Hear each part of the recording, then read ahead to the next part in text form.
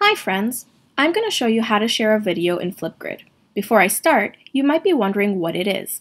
Well, Flipgrid is a virtual messaging board where you can record video responses to a question or topic your teacher gives you. What's really cool is that you can also watch and respond to your classmates' videos too. Well, let's get started. Alright, so the first thing that you're going to need to do is you're going to want to log into Google Classroom. There are technically two different ways that you can get onto a Flipgrid. One is using a code if your teacher gives that to you, but for our class, it's going to be through Google Classroom. So I'll click on Google Classroom and I will be signing in. Once I'm signed in, I'll go into our classroom. Now, for the sake of this, I had made a fake class where I made a fake Flipgrid to use just so that way I have that. Obviously for our class, you'll use our classroom's flip uh, assignment. But for here, I'm going to go into my classroom and you'll see a comment where it's going to have a Flipgrid on it. So I'll click on the Flipgrid itself and I need to sign in to Flipgrid. Now, you will be signing in using your Google School account. So that's what you're going to be using. So I'll log in, use my username, and then there I am.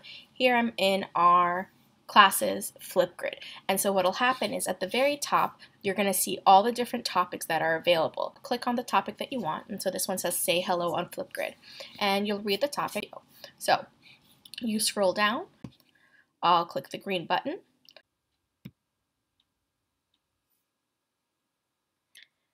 Now, once it's loaded, you'll be able to see that your camera is ready for you to record. So you'll click that red button to record three, two, one. Record your response. Hi. And then click the next button.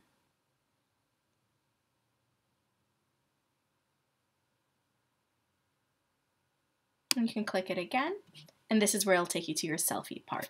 And this is actually going to be kind of like the cover of that video. So I'll take a quick selfie. And then once you're done with that, you can put maybe a hat to make yourself look festive if you wanted to do that. I'm going to do this red one, make it a little smaller so it'll actually fit my head. There we go. Maybe give myself some glasses.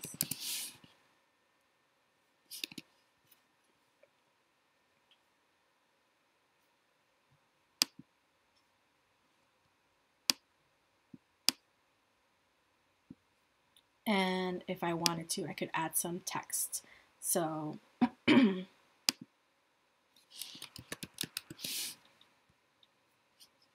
we go. Once you're done with your selfie, you'll just click that next button. And it's going to load it up for you. You're going to put your name. You're just going to put your first name um, because that's all you need to do. Click submit and then you'll get that congrats saying that your video has been submitted. So once it's submitted, you'll be able to see it with all those other videos. What the neat thing is, as I mentioned earlier, is that you can make replies to other people's videos. And to do that, you'll just click that video and then there's a little green reply button that you'll press. The big thing I want us to remember though is when we do these responses and these videos is to remember some Flipgrid netiquette. So really this piece is to make sure that you've organized those thoughts before you've actually recorded just so that way you can stay 100% on topic. As always, whenever we make any shares or any types of comments, we are being kind, responsible, and respectful. We don't want too many jokes or any type of things that won't make us take this seriously because even though this is virtual, you still want to make sure that you are putting your best foot forward. Um, if you're doing any types of replies, um, or even just responding to your the question being asked, make sure to give examples. Um, if there's need to be, you can do connections or any other feedback. If you don't feel like you are ready, you don't have to immediately record. Just take a break so that way you're able to put your best response in. If you have any questions, remember that you can always just send me an email and I'll be happy to just quickly respond back to you um, so that way you're able to be as successful as possible with these Flipgrids. All right, so I look forward to all of your different videos throughout this week and hopefully this will become a new strategy that we can use throughout the rest of the year. Bye!